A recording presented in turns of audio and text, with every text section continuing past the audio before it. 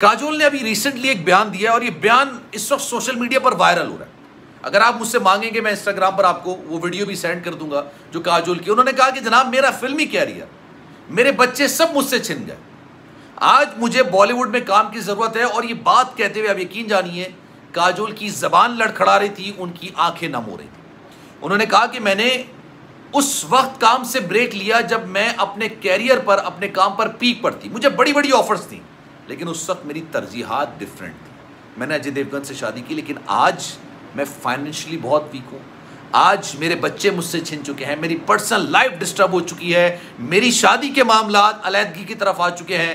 तो अब मैं बॉलीवुड के अंदर काम ढूंढ रही हूँ और उन्होंने इस इंटरव्यू के अंदर उनके और उनके सबक शोहर कहा जाए तो ज़्यादा बेहतर है। अजय देवगन के दरमियान अलीहदगी क्यों हुई?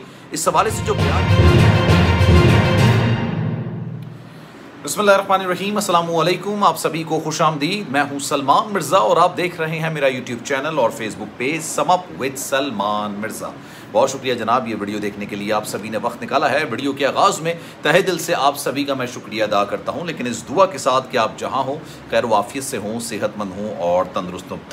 जनाब, नब्बे की दिहाई की शानदार अदाकारा काजोल, जिन्होंने तवील अरसे तक बॉलीवुड से सीज़न से, यानी काम से ब्रेक ले रखा था। आपने एक चीज़ नोटिस की?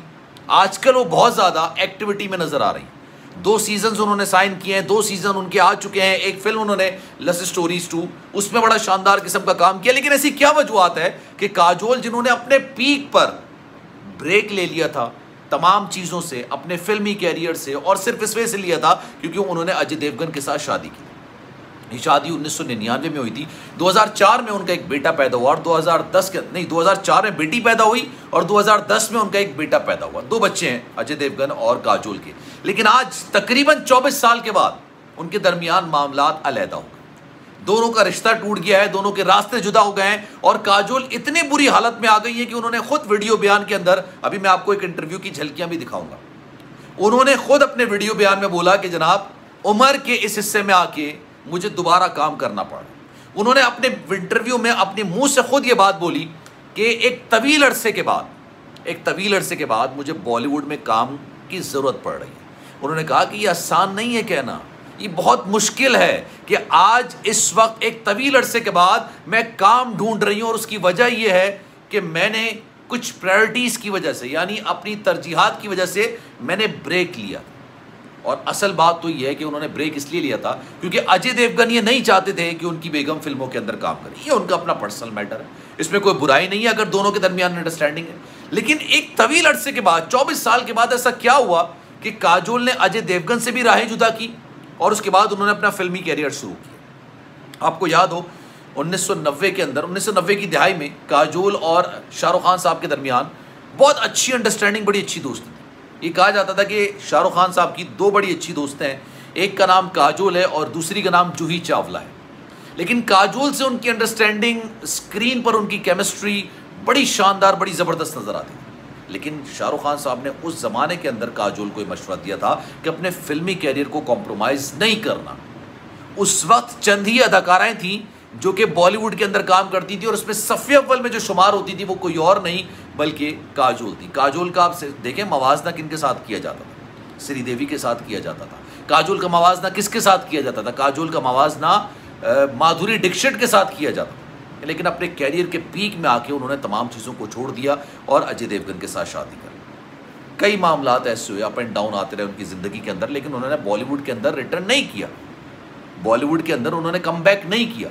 लेकिन आज वो अपने इंटरव्यू के अंदर खुद ये बात कह रही हैं कि उनको काम की ज़रूरत है। आज वो खुद ये बात कह रही हैं और बात कहते कहते उनकी आँखें, उनकी ज़बान लड़खड़ा रही है। उनकी आँखें नम होती चली जाती हैं। और यही वजह है कि लोग ये बात कहते हैं कि जनाब दोनों के दरमियान अलीहदगी हो गई। काजुल ने खुद इस बात का ऐलान किया कि वो ज़िंदगी के बड़े मुश्किल मरहले, मुश्किल दोराहे से गुजर रही हैं।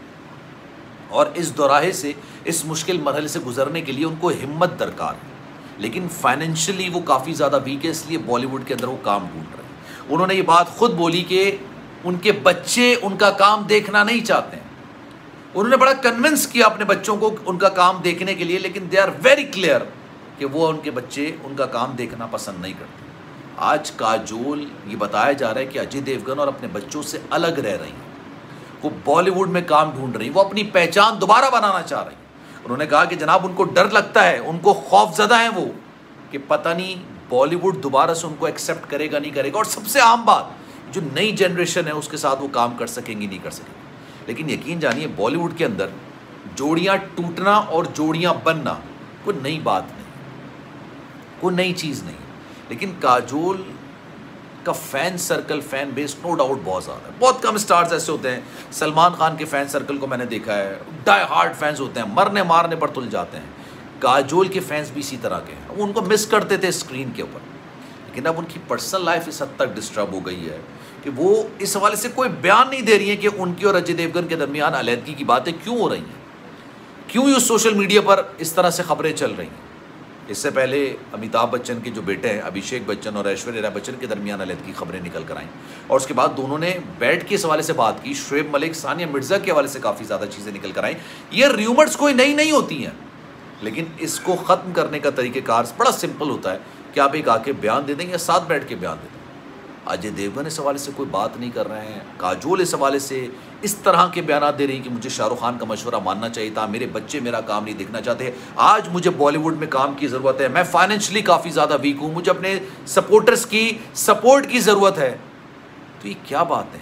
ये क्या वजूहत हैं कि दोनों के दरमियान मामला इस नहज पर आ गया ये वाकई में ऐसा मैटर है, जिस पर बात करना काफ़ी ज़्यादा ज़रूरी हो गया है, क्योंकि बॉलीवुड में अब हर दूसरे दिन किसी ना किसी स्टार का घर टूट जाता बहुत कम ऐसे जोड़े होते हैं जिनकी राहें जुदा नहीं होती हैं।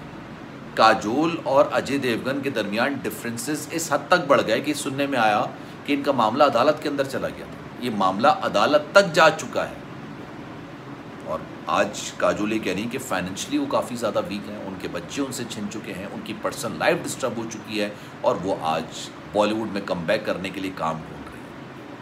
इस बात पर आपकी राय क्या है? मैं चाहूँगा कि कमेंट सेक्शन में भी राय का इजहार ज़रूर कीजिए। सलमान मिर्ज़ा को दीजिए इजाज़त। ज़िंदगी रही, सेहत रही, आपकी दुआएँ रही तो इंशाल्लाह आपसे फिर मुलाकात होगी। लेकिन जाने से पहले गुजारिश है, अगर आपने चैनल सब्सक्राइब नहीं किया, सलमान मिर्ज़ा ऑफिशियल मेरे यूट्यूब चैनल को सब्सक्राइब ज़रूर करें। बेल आइकन ज़रूर दबाएँ, अपना बहुत ख्याल रखिएगा। इंशाल्लाह अगली वीडियो में आपसे फिर मुलाकात होगी। अल्लाह हाफिज़।